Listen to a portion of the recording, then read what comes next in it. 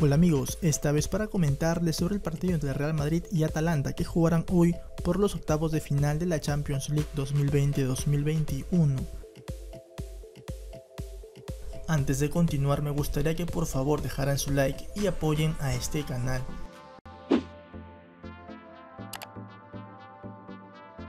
¿Y cómo pueden ver este partido? ¿Quién lo va a transmitir?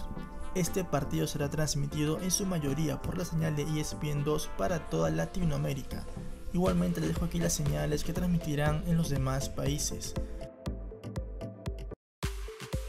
Este encuentro se jugará a las 3 de la tarde hora peruana igualmente. Pueden ver aquí los horarios en los demás territorios.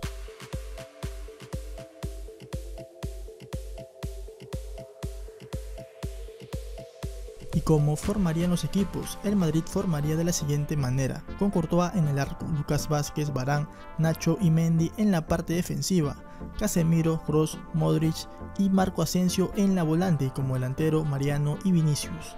Mientras que el Atalanta iría con Bollini en el arco, Toloy, Romero y Gimisti en la parte defensiva, Maele de Run, Freuler, Goces y Presina en la volante como delantero Ilicic y Zapata.